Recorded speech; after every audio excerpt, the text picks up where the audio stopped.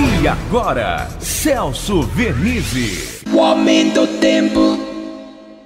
Olá, amiga, olá, amigo. Ainda há influência do ar frio que está no Oceano Atlântico. O tempo melhora durante o dia, o sol já predomina mais horas, mas de vez em quando tem algumas nuvens que vêm e que se acumulam na Serra do Mar, podem até trazer alguma instabilidade para as montanhas e para as regiões mais próximas ao mar. Situação de instabilidade passa durante os próximos dias fica restrita mais a alguns pontos do interior entre a região central e as divisas do Paraná e do Mato Grosso do Sul. São áreas de instabilidades que aliviam a secura que havia, elevam a temperatura e provocam chuvas e trovoadas isoladas durante a tarde. 28 graus na maior parte do interior, 24 no litoral e 23 graus na capital paulista. Noites ainda frias, mas o tempo vai esquentar. Um abraço a todos.